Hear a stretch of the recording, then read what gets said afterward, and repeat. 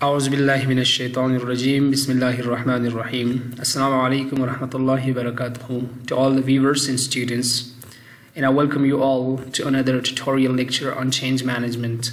I'm Safiullah Shinwari. The topics which are going to be discussed uh, in this session are the examples of failed change management projects we're going to discuss three examples of the change management projects which have been uh, failed. Uh, these are the common uh, examples uh, in projects, uh, not from a particular organization, but actually these are the general examples uh, that normally these sort of changes around the world in organizations have failed.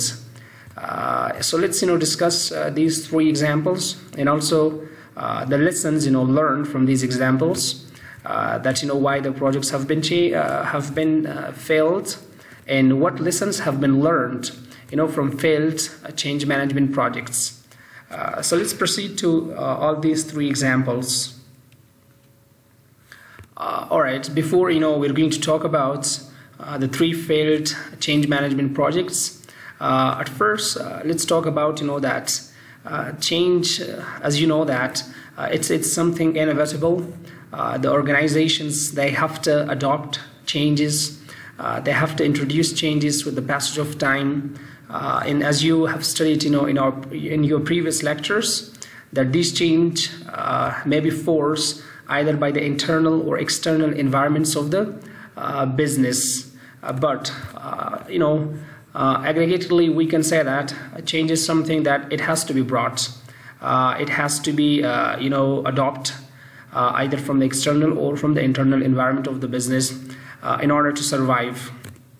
Uh, and mostly organizations, you know, they are planning the change in, and, and they are just, you know, making sure that the change process should go successfully uh, and, and, and the change uh, should bring some positive results to the organization and it should be a successful project. Uh, but not all the change management processes have to be successful some change management pro projects uh, so they can be failed due to uh, lack of planning or lack of resources uh, or there can be you know like like you know many uh, reasons uh, maybe the change is not adopted or the change is not you know uh, implemented correctly or, or in a positive way. So a large proportion of the change process in enterprise fail.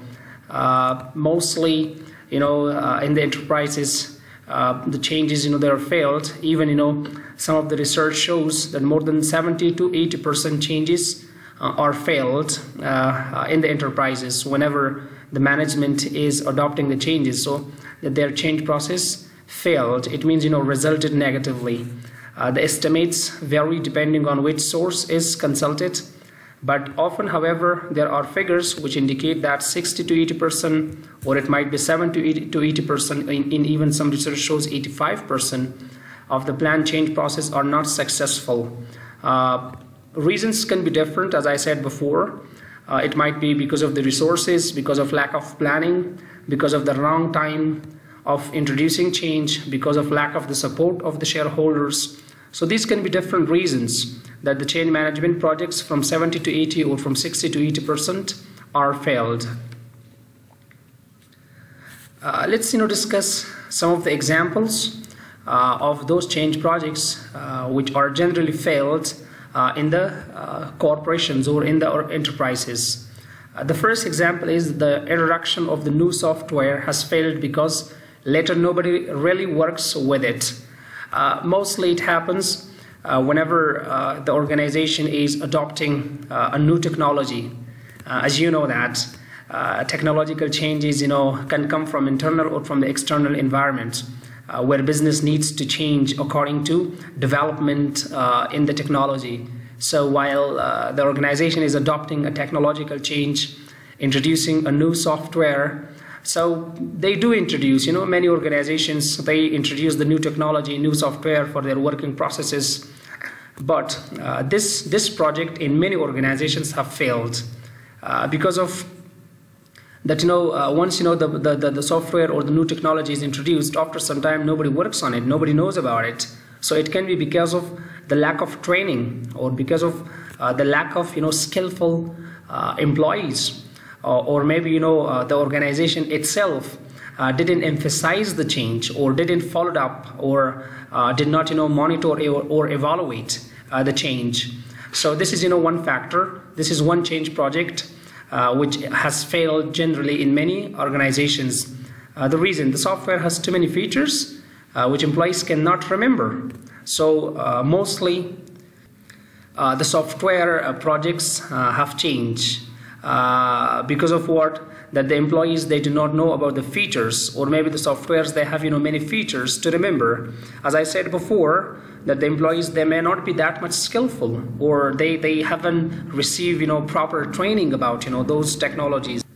Uh, so it can be the reason that you know these sort of uh, projects of change are failed in organization. And some features are not wanted or necessary. So uh, you know in the technology uh, part, maybe some of the features or things were not necessary, but the company introduced. This has made the software so complicated. Uh, so that's no, no, no longer used. Uh, if, if I give you the example for this, uh, recently, uh, because of you know the COVID-19 virus, which started in because of the outbreak of this virus, many organizations or institutes, I should say, universities, uh, they have launched their online classes and they have uh, you know used many uh, different softwares. Uh, like you know they use uh, you know Microsoft Team Weaver they use Zoom they use you know their LMS programs or some other softwares in order to, to teach their students online. But you know most of most of the organizations they felt very you know hard and also the employees in those organizations they were feeling the heat uh, because you know they didn't have you know that much skill to use these sort of stuff. Uh, so that's why most of the universities even if we see in afghanistan they stopped you know uh, their online uh, uh services.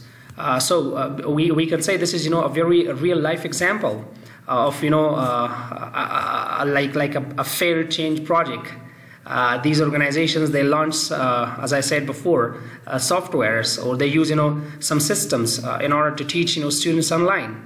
Uh, but majority of the institutes or universities have failed with their move with their change. They couldn't deliver the best. So this is you know one real life example. Hope you understand that. The next example is the introduction of a new work schedule to help the sales staff failed. Many of time it happens that the organization uh, they are just you know implying or imposing uh, you know a very uh, tough or a hard schedule you know for sales uh, stuff uh, which is the most important uh, for the organization success. Because you know this is you know a source of revenue or a source of cash generation which you know that cash is the most important for for the life of the organization. So it happens that this sort of change also failed whenever you know you are making or renewing or rescheduling uh, the work of the sales stuff uh, and then you're you know applying a new schedule you know on the sales stuff this this change particularly have have failed in the organization based on the research.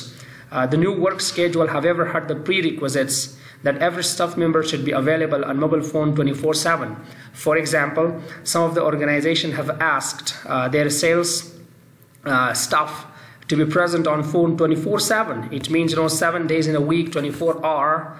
Uh, if they're receiving any phone call from the customers or from, from any uh, prospect customers, they have to answer, which is impossible. This naturally resulted in the sales staff feeling controlled by the company.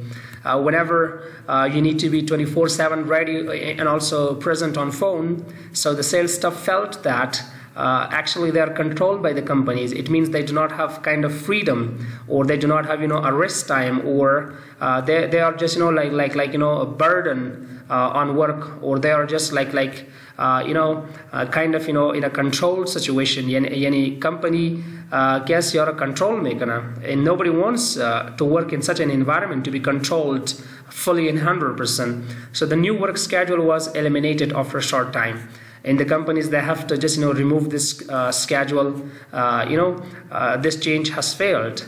Uh, I'm, talking about you know the the uh, the, the famous organizations or a very large size organizations, multinational organizations, for them which is very important, even you know if they're salespersons uh, in one or two minutes they're making billions of dollars income. Uh, so that's why they're making a very difficult and a very tough schedule. Uh, so uh, this is one of a change project that normally it failed uh, in many of the organizations for, for rearranging the schedule of the sales staff then implementing a very hard schedule on them and suddenly the response comes very negative it means they're not supporting the change uh, and they're feeling kind of burden. So after some time the organization uh, has to eliminate uh, the change and just you know finish. So it means once the change is finished or it's eliminated so it means you know the change has been failed. Example number three is reorganization of a company with the shutdown of selected subsidiaries. Uh, uh, what it means uh, actually, let's you know first talk about the subsidiary. That what exactly subsidiary means. as you know that we have various types of company. Uh, like you know we have a sister company we have parent company we have daughter company so these are the different types of company uh, whenever the businesses they're acquiring other companies so they're naming them uh, or they have you know kind of relations uh, whenever uh, like like you know a parent company is a company which is uh, the acquiring company. Uh, you may have studied these topics uh, in strategic management. So a parent company is a company which is acquiring another company. In a subsidiary company uh, has been set up or acquired by another company. That's usually either larger or famous to public.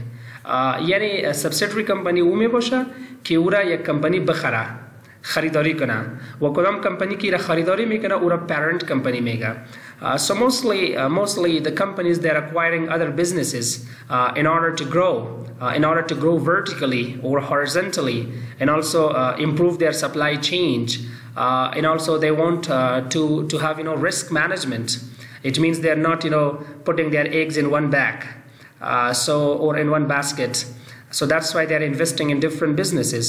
यानी ज़माने की company दी दिगा company रा acquire में कना company की दिगा company रा में खरा कंपनी अवल के पेरेंट में बशा कंपनी दो subsidiaries में बशा खो sometime it happens that the organization is reorganization a company would shut of the selected subsidiaries बाज़ वक्त parent company के او بعض سبسیدریز کمپانی را که خریده. او را مثال پس یا مفروشه یا مثال چینجز میاره تغییرات میاره و اداره خود پس ری ارگنایز میکنه دوباره ترتیب میکنه.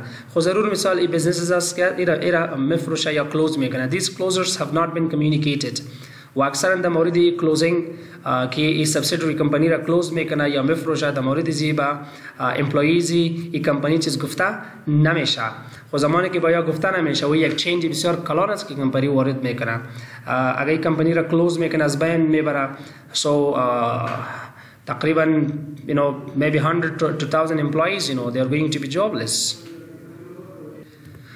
but mostly this news is not communicated to the employees but unfortunately the employees learn of it from other sources زمانی که از دیگه sources خبر میشه در مورد زی so the management still claim that you know it would not close the offices و management بازم ادامه میکنه که نه خیر ما این کمپانی را close نمیکنیم so mostly because of this you know uh, the employees they are becoming nervous uh, and, and, and you know they stop their cooperation or they are not uh, supporting this change.